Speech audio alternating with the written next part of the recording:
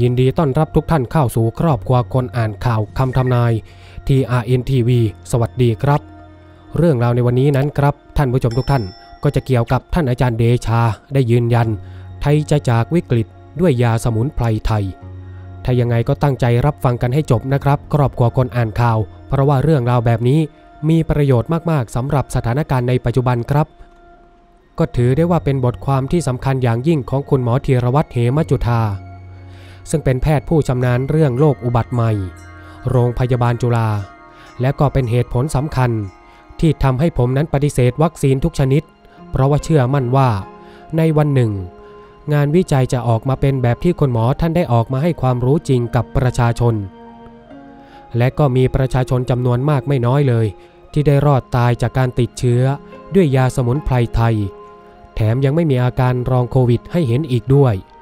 ผมจึงเห็นด้วยอย่างยิ่งกับนโยบายว่า ด้วยการรีบสร้างศูนย์ wellness center กระจายออกทุกชุมชน และสร้างฐาน wellness center ที่ใหญ่ที่สุดขึ้นในประเทศไทย ให้เป็นศูนย์กลางของโลก ไม่ว่าจะเป็นพรรคการเมืองใดก็ตาม ที่ออกนโยบายแบบนี้ออกมา ย่อมมองเห็นโลกอนาคตได้อย่างชัดเจน เดชานลืนาถ ทุกๆทท่านครับ ท่านฟังมาถึงตอนนี้แล้ว ท่านคิดเห็นอย่างไรกันบ้างครับ ซึ่งก็จะต้องบอกเลยนะครับว่าสมุนไพรไทยนั้นไม่ธรรมดาเลยนะครับ ถ้าใครที่รู้จักสมุนไพรตัวไหนที่สามารถป้องกัน หรือว่ายับยั้ง หรืออาจจะช่วยเยียวยาเกี่ยวกับโรคไวรัสต่างๆ ได้ คอมเมนต์บอกกันด้วยนะครับ มาฟังกันต่อนะครับสำหรับบทความดังกล่าวนี้ ซึ่งในโพสต์ท่านอาจารย์เดชาได้มีการโพสต์ต่อว่าหมอธีรวัตรชี้ติดโควิดแล้ว ฉีดวัคซีนซ้ำซาก ไม่ทำให้เกิดภูมิคุ้มกันหมู่ หมอธีรวัตรนั้นได้เผย โควิดยังไม่จบ การติดเชื้อไปแล้ว ฉีดวัคซีนซ้ำซาก ไม่ทำให้เกิดภูมิคุ้มกันหมู่ และไม่สามารถป้องกันการติดซ้ำใหม่ได้ศาสตราจารย์นายแพทย์ธีรวัตรเหมจุธา ซึ่งเป็นผู้อำนวยการศูนย์วิทยาศาสตร์สุขภาพโรคอุบัติใหม่ คณะแพทยศาสตร์ จุฬาลงกรณ์มหาวิทยาลัย ได้โพสต์ข้อความเรื่อง คิดว่าจบแต่ก็ไม่จบ คนไทยต้องตาสว่างและดูรอบด้าน โดยระบุดังต่อไปนี้ 1. ตอนแรกเราก็คิดว่าโอไมคอนมาแล้วก็จบ แต่ว่ากลายเป็นว่า BA1 พอจบ ต่อด้วย BA2 ยังไม่ทันจบก็มีตัวแทรกก็คือ X แบบควบสาย ขี่ข้ามสาย เดลต้ากับโอไมคอน หรือว่าแบบควบกันเองในสายย่อยโอไมคอน ขณะที่โอมิเดลต้า ขี่ควบข้ามสายแม้จะเกิดขึ้น แต่หวังว่าไม่เก่งนัก หวังว่าไม่มี selective advantage มาก 2. เป็นที่ประจักษ์ชัดแล้วว่า เมื่อใดที่มีการติดเชื้อแพร่กระจายไปเรื่อยๆ ไม่หยุดยัง้ง จะส่งเสริมให้ไวรัสมีการปรับตัวไปแบบเรื่อยๆ เกิดสายต่างๆกัน 3. การติดเชื้อไปแล้ว ฉีดวัคซีนซ้ำซากไปแล้ว ไม่สามารถทำให้เกิดภูมิคุ้มกันหมู่ และไม่สามารถป้องกันการติดซ้ำใหม่ได้ โดยที่ถึงแม้จะมีภูมิในประชากรไปมากกว่า 70%ก็ตาม ไม่สามารถสงบการระบาดของโควิดได้ เหมือนกับโรคอื่น ที่เมื่อคนที่มีภูมิก็ไม่ติดเชื้อใหม่ ไม่แพร่ต่อ และโรคก็จะสงบไปเองถแถลงจาก NIS สหรัฐ โดยดรฟาวซิ 31 มีนาคม 2565 4. ขณะเดียวกันทุกคนนั้นหวังว่าการติดเชื้อไปก่อนหน้า และการฉีดวัคซีนซ้ำซาก ถึงแม้ว่าจะป้องกันการติดใหม่ไม่ได้ก็ตาม แต่ลดอาการหนักและตาย แต่ว่าในประเทศเกาหลีใต้ที่มีการฉีดวัคซีนครบ และมีเข็มกระตุ้นมหาศาล อัตราอาการหนักและเสียชีวิตสูงมาก และเช่นเดียวกันครับ จากบทเรียนในปี 2020 ที่พื้นที่ในเขตอเมซอน ที่มีการติดเชื้อตามธรรมชาติ ที่คิดว่าจะได้ภูมิดีที่สุด เมื่อสายพันธุ์เปลี่ยน ติดเชื้อใหม่ก็มีอาการรุนแรงและตายได้เหมือนเดิม ดังนั้นถ้าจะฉีดวัคซีนต้องพยายามหลีกเลี่ยงผลข้างเคียงให้ได้มากที่สุด โดยการฉีดเข้าชั้นผิวหนัง ที่ใช้ปริมาณน้อยกว่า ได้ผลแบบฉีดเข้ากล้ามเนื้อ เพราะมีกลไกการทำงานที่แตกต่างกัน 5. การควบคุมขณะนี้ไม่สามารถใช้กลยุทธ์วัคซีนอย่างเดียวได้ ต้องควบคู่กับการรักษาที่เข้าถึงได้ทุกคน ทั่วถึงตั้งแต่นาทีแรกที่รู้ว่ามีการติดเชื้อ และจะต้องตระหนักว่า ยาที่ใช้ในปัจจุบันนั้นที่มีกลไกการออกฤทธิ์เดียว ที่ตำแหน่งเดียวของวงจรไวรัส อาจจะมีประสิทธิภาพลดลง จากรายงานในประเทศต่างๆ จึงมียาราคาแพงออกมาตลอดเวลา รวมทั้งการใช้โมโนโคลแอนติบอดีที่ต้องปรับเปลี่ยนไปตามสายพันธุ์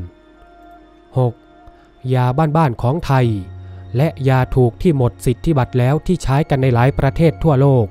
และสามารถใช้ในการป้องกันและรักษาทันทีเมื่อติด ต้องนำมาพิจารณากันอย่างเร่งด่วน การอิงตามคำแนะนำของต่างประเทศที่ผลิตยาแพง และผลิตวัคซีนอย่างเดียว ต้องหันมาพิจารณาหลักฐานและข้อมูลในสถานการณ์จริงด้วย ยาถูกๆที่กล่าวว่าใช้ไม่ได้ผล แท้ที่จริงแล้วให้ช้าไป หรือไม่ก็แทนที่จะให้ตั้งแต่ต้น กลับให้เมื่อเกิดอาการไปแล้วภายใน 7 วัน และก็ให้น้อยกว่าที่ควรจะเป็น และยังกล่าวเพิ่มว่า รองโควิดนั้นเป็นกลุ่มอาการที่เกิดขึ้นหลังจากที่การติดเชื้อได้จบสิ้น เชื้อนั้นไม่พบแล้ว 1. อาการรองโควิดไม่ขึ้นอยู่กับความหนักเบาของอาการที่เป็นตอนแรก 2. เกิดได้ทุกอายุได้ทุกเพศ 3. เกิดอาการได้ตั้งแต่หัวจรดเท้า หลายระบบหรืออวัยวะพร้อมกัน 4. อาการที่มีขณะติดเชื้อไม่สงบ แม้ว่าการติดเชื้อนั้นจบไปแล้ว และทอดยาวนานกว่า 3 เดือนต่อไปอีก หรืออาการที่เกิดขึ้นเป็นอาการใหม่ 5. กลุ่มอาการเป็นลักษณะที่เรานั้นรู้จักกันดีมานานแล้ว ในรูปของ s r o n i c f l a t i c u l syndrome หรือก็คือ มาเลเซีย SF ไฟโลมายเยเลติฟแต่ว่าโควิดนั้นเกิดได้แบบรุนแรง และยาวนานกว่าไวรัสตัวอื่นๆมาก 6. กลุ่มอาการทางสมองและจิต อารมณ์ พบได้ 30%หรือมากกว่า และส่งผลทำให้เฉื่อยชา คิดช้า ความจำสั้น สมองนั้นเสื่อมและอารมณ์แปรปรวน โดยเฉพาะคนที่เป็นอยู่แล้ว หรือกำลังจะเป็น เกี่ยวกับโรคสมองเสื่อม เช่นอัลไซเมอร์ หรือพาร์กินสัน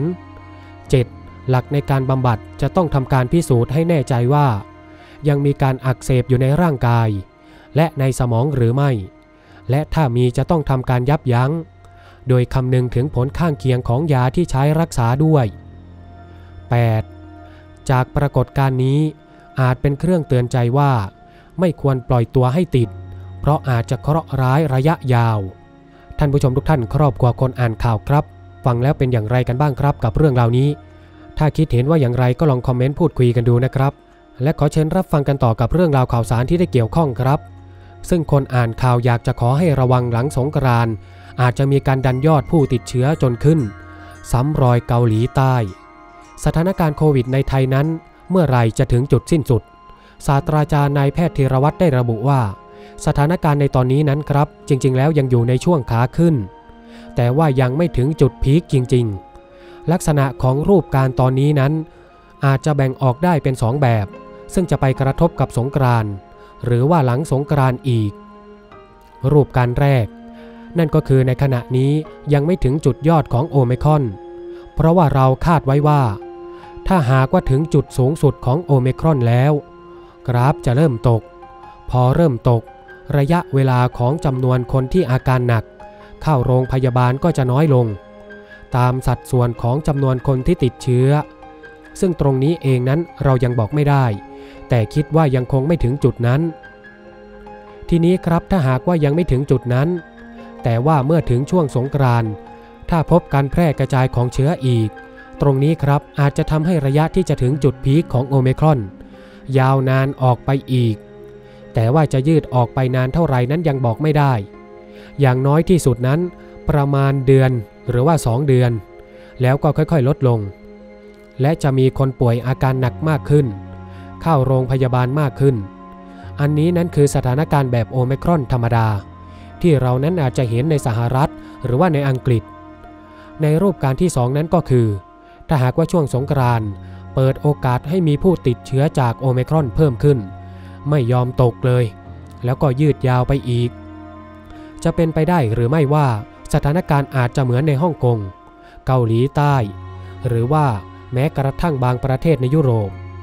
นั่นก็คือในขณะที่มันกำลังจะถึงจุดพีคและก็น่าจะค่อยๆตก ระหว่างนั้นก็อาจจะเป็นช่วงที่เปิดโอกาสให้โอไมครอน